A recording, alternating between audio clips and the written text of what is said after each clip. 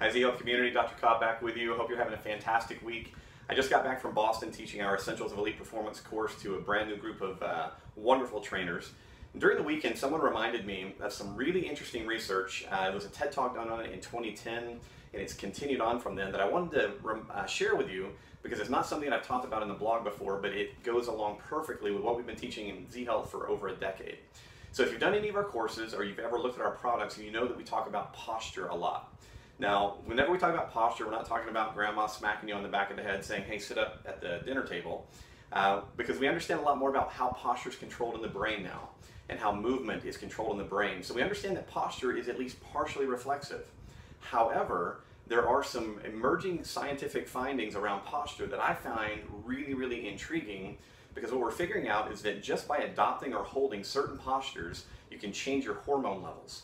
Now, I'm not one of those people that says, hey, this hormone is good and this hormone is bad in the human body because all the hormones play a role uh, that, are, that are essential in things that we do. But uh, in these studies, what they looked at is they looked at testosterone levels and cortisol levels. And they basically qualified or classified these, uh, testosterone being a confidence building or stress uh, diminishing hormone, cortisol being evidence of increased stress. So if you just think of it that way, testosterone, decreased stress, cortisol, increased stress, the research will make sense. Now, the uh, I'm going to link to a couple of articles with this blog because I would love for you to go read the articles and also watch the original TED Talk done by a professor at Harvard Business. What they did is they took 42 students, they gave them uh, a saliva test, and they looked at testosterone levels and cortisol levels. Really intriguing, really interesting. They then had them adopt what they called either power postures or more submissive postures uh, for two minutes, 120 seconds. And then they retested their hormone profiles.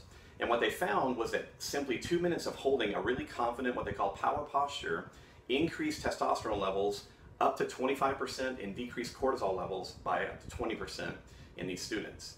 Now, people go, that was pretty cool. How long did that effect last? Well, ongoing research has shown that just that two minutes of standing uh, in these power postures that are very confident, very open, actually would last, uh, they see hormone changes for up to 20 minutes. Now, in the context of the social sciences where this information was originally published, the idea was, hey, use these power postures before a meeting, before something that's going to require increased um, attention to detail, increased confidence, increased aggressiveness, um, because these power postures will preset you before you go into those uh, situations. Conversely, it's also making you aware that if you go into a situation, you hold kind of a closed, guarded uh, startle posture, which we call it in Z Health, it will actually increase the stress of the encounter and probably make you less competent. Now, people think about that and go, that's kind of weird. You're saying that simply how I stand can have an impact on how I think, how I move through the world, how I present myself, and our answer is absolutely.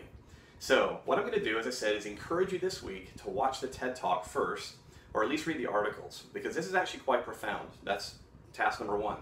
Task number two, pick one day this week and give yourself 120 seconds to practice one of the postures and see what happens.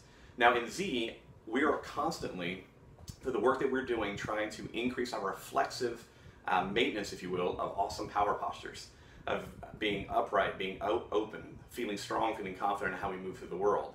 So if you're already doing a lot of the stuff that we teach, you're going to find this extremely uh, easy to do. However, if you've never really explored our programs, I would love for you to take this as an opportunity to read what other researchers are saying about posture.